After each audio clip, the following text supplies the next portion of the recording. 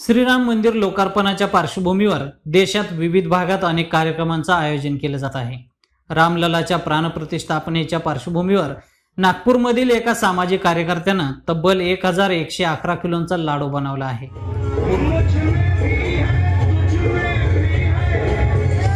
पूर्व नागपूरमधील सामाजिक कार्यकर्ते लक्ष्मण पोटे यांनी स्वतःच्या दुकानात एक हजार एकशे अकरा किलोंच्या बुंदीचा लाडू साकारलाय.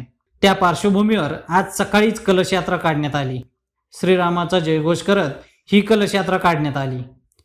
हा लाडू भगवान श्रीरामाच्या चरणी अर्पण करण्यात येणार असून नागपूरकरांना प्रसादाचं वाटप केलं जाणार आहे. या लाडूबद्दल सामाजिक कार्यकर्ते लक्ष्मण पोटे यांची काय भावना आहे पहा.